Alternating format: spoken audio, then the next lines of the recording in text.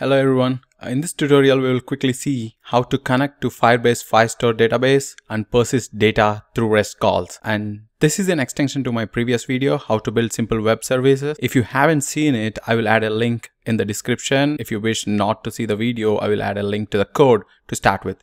Let's dive in. We will be using uh, Firebase uh, Firestore database. So I am at my Firebase console. Uh, if you are not sure about uh, Firebase, just go to Firebase, firebase.google.com and uh, it will open you the console to the account and you can click on the go to console here. If you don't have a Firebase account, it will ask you to just create one with your uh, Gmail ID. It's free and uh, you can create a project here like add project.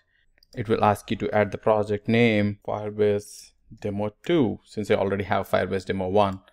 Continue, enable everything, continue select an account. This is my account, create project.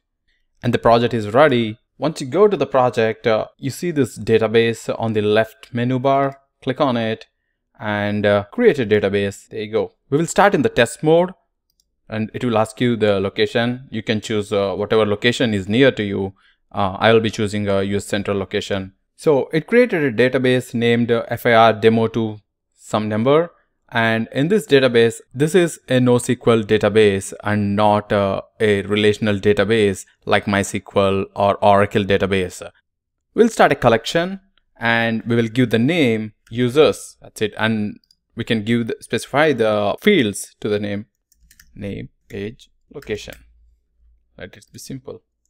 Test 50 Dallas. Age can be a number, but I will just leave it for string because uh, the earlier code we had is a string. So just leave it there. If you see here, it created a, a document ID with this and it created the field. Try to give, add a document. It says like, if you don't give any document ID here, it will auto generate for you. So you can give ID while you are working through the code and not an auto generated code. So let's go back to our project uh, on Eclipse. So here is our previous project, uh, which had four endpoints to get user details, create the user, update the user, and delete the user. We will now connect uh, to the Firebase database that we created, and uh, we will persist data, retrieve data, and update the data using these endpoints. To have a connection to the Firebase database, uh, we need to add uh, the Firebase dependency. It's a Firebase admin dependency, so so we'll pick the latest version, 6.11 and this is all you need.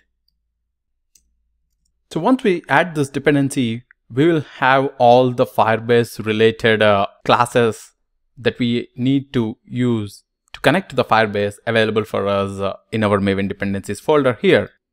There you go. You see the Firebase here? It already imported 6.11 jar for us to use. So we had our dependency added. Now let's go and create a, Firebase initialize class which will open the connection to the Firebase. I'll create a package called service package which I'll have a class called Firebase initialize. So I have this class.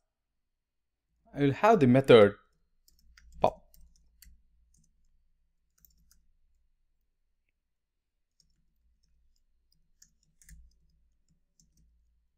and we will have the connection details here. So in order to connect to the Firebase, you need a key which is uh, unique to your account and that you can create on the Firebase. Let's go back to the Firebase console here. And if you go to the settings here, project settings, so you can see the service accounts here, go here and it shows you what is the code that you need to connect to the database. So you can copy this and paste it back.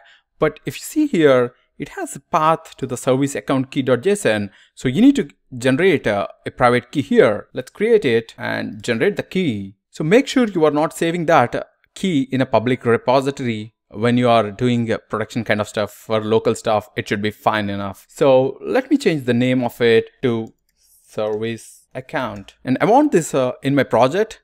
So I will save it to my project here. So let's go back to the project and let me refresh it. So if you see the service account.json file is already here. Now let's go back and copy this whole thing here. So it says path to the service account. So let me just keep this. It means it is in the home directory and it will look for the service account key but our JSON file is has a different name. We will have the service account.json. And if you see this set credentials of Google credentials from stream service account, which we defined above and the database URL. So if you go back here to the database, it has 8920F. That's what I added here. So it will be connected to the 8920F. Now go back to our project. So we are back in the project. All right. We got everything we needed for the connecting. You want this connection to happen when the application startup. So how do you do that? So first we need to define this as a service so that the Spring Boot recognizes it as a service. And then there is another annotation called add post construct. What it does is when you add this annotation, it will know that it has to be run during the startup. Once we had this annotation here, it will try to make a connection to Firebase during the startup itself. We need to add a try catch here if something error comes up. We will add a try catch here catch any exceptions that occurred during this operation.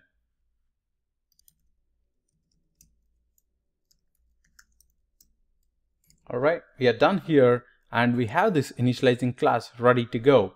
Now we need to have a service class where it actually uses this connection and try to persist data into the Firestore database. Let's go ahead and create a new class Firebase service class. We will define this class also as a service class so that a Spring recognizes it as service. So we will have a function here to create the data. It should be a public function.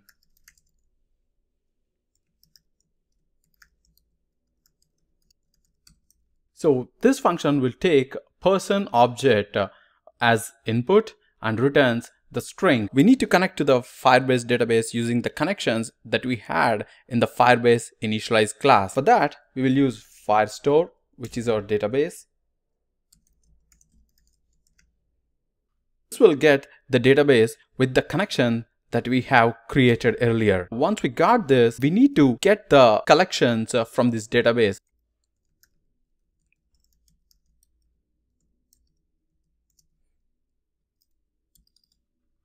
The collection we created is users collection. We need to queue the document ID. If you don't give a document ID here, as we seen earlier, it will create an auto-generated ID. I will create the document ID using the person's name. We created the document ID and we will set the collection now. And we are returning a string here, so let's return the timestamp of when this collection is being created.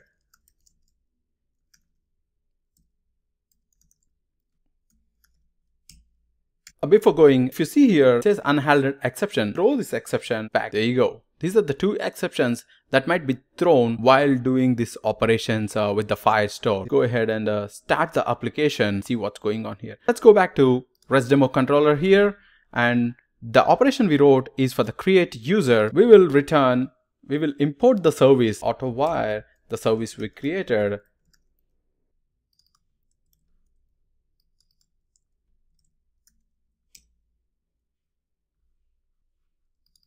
Now from here, if you see, we are calling the Firebase service and the method in that to save the user deta details, the person, which we will get it from the request body. Let's go ahead and start it. Started, I'm opening my Postman here. So it opened in localhost 8080.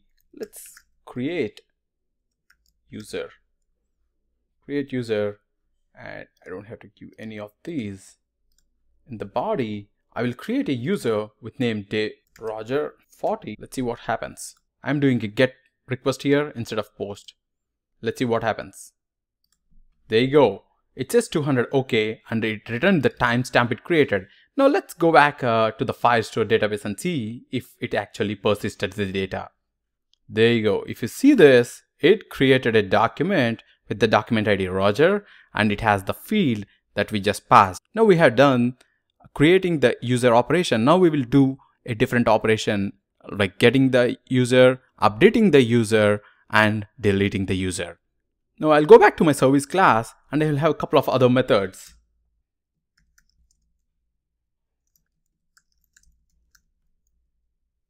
We will have the same connection with the Firestore database. There you go. We got the client for it. And here, if you see earlier, we got the API future object, but when you are trying to get the data, you actually will get a document reference uh, for that particular document name. And then we need to retrieve the API future object from the document reference.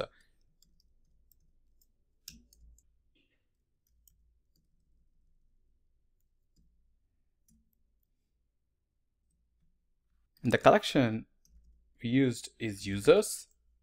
The document name would be the name. This is where you pass the document ID. Now we got the document reference here. We need the document snapshot that we need to retrieve from the document reference.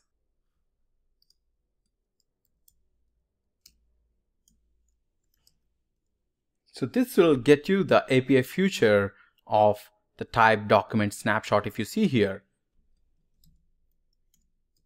Once we got the document snapshot, all we need to extract that uh, document snapshot from the API future object, which is actually the document we wanted. See, this get will return the document snapshot. All right. Now we have the document here. What we will do is, so now we need to convert this document object to the person object that we are supposed to return in null object. If the document exists, we will assign that person to the object we received.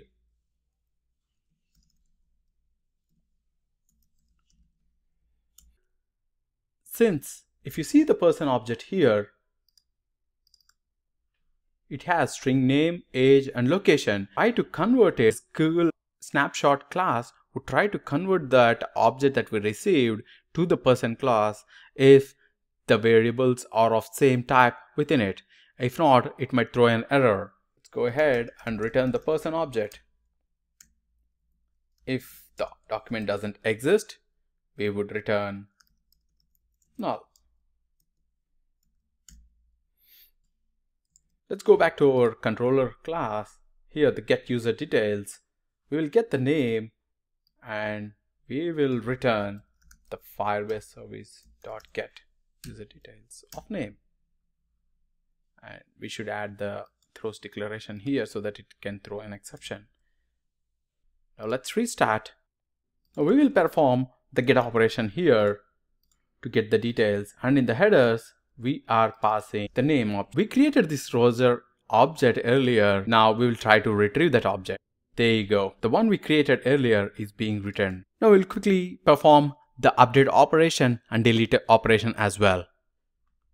Go back to the Firebase service and we will have two more functions.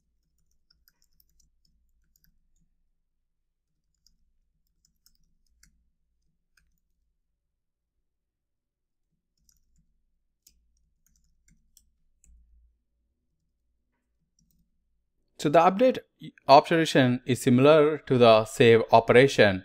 We'll just copy paste it here. Beauty is when you're trying to get the document with the name, if the name exists, it will try to update the document and if the name doesn't exist, it will try to create the document. So basically we can use the same, but uh, to show it, I will just use it here uh, to update it. So now since we had this, let's go ahead and uh, try to do the update operation. We need to change uh, this back to calling the Firebase service actually. Let me rerun it. Go back to the port and do the put operation with update user. And have the body. Now I'll change the age 50. Roger is getting old. And location back to Florida for retirement. See, it returned the timestamp the user got updated. Let's go back to Firestore and see if it actually got updated. There you go. So the beauty of Firestore is updates are like really instant.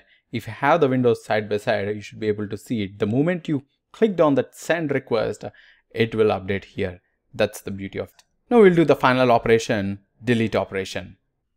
Similar to that, we will create a new function to delete.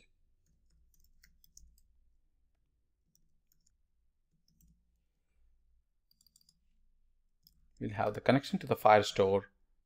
We'll get the API future object. What we need to do is we need to get the collection like earlier, which is the user's collection and get the document we want to delete using the name which is actually the document ID and just delete. That's all you need to do and return document with ID has been deleted and we will update our controller class to call this That's it. Let's restart.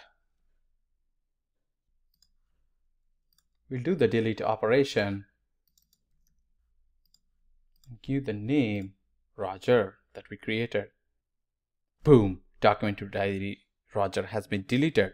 Now let's go back to Firestore. There is no user with ID Roger. It has been deleted. So let's do all the four operations quickly to see what's happening here. I will try to have this side by side for our convenience.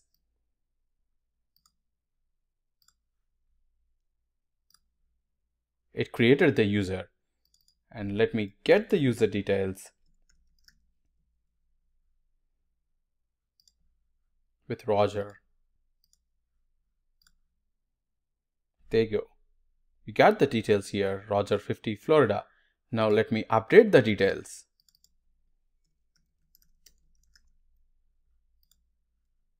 Let's make him a little bit older. Now he can completely retire. There you go, see? It's very quick. And let's delete the user.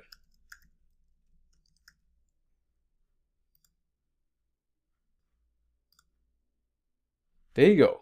It has been deleted, right? The only document left is David, which I don't want to delete it now. We saw the basic CRUD operations create, read, update, and deleting operations using Spring Boot and connecting to the Firestore database. I hope this helps. Thank you.